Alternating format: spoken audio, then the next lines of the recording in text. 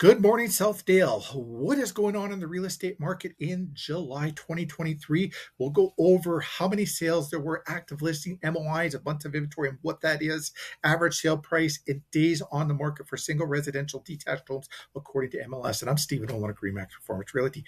Uh, 10 sales and only five active listings uh, currently. Um, so you've got less than half a month of inventory, MOI. And zero to four months of inventory is a seller's market. Four to six months is a balanced market beyond six months of the buyer's market. And a month of inventory is a metric uh, to determine the liquidity of any real estate market. 458,000 is the average selling price of those 10 homes that sold and 30 days on the market was the average. Let's take a peek at what did the previous 5 years look like.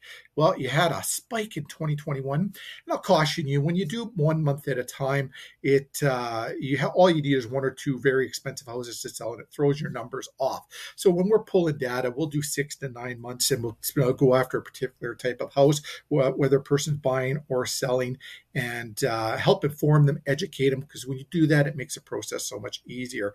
But 364 in 2019 to 458 in 2023, some great real estate gains in the Southdale area.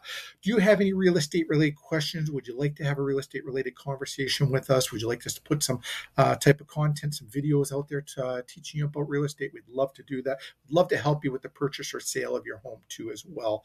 Um, if you like our content, give us some love on social media. Like us on Facebook, follow us on Instagram, subscribe to our YouTube channel, or uh, give us a Google review. Google reviews really help us help other people, and we appreciate them so much. We appreciate you.